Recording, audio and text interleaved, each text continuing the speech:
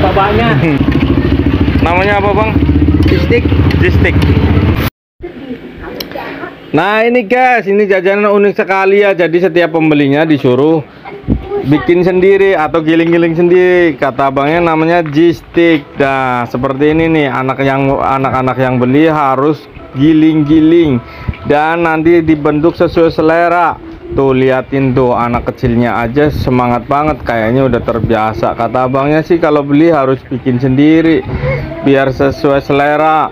Mau dibentuk apa pun bisa. Nah ini contoh yang sudah digoreng nih seperti ini. Nah selanjutnya nanti dikasih bumbu tabur.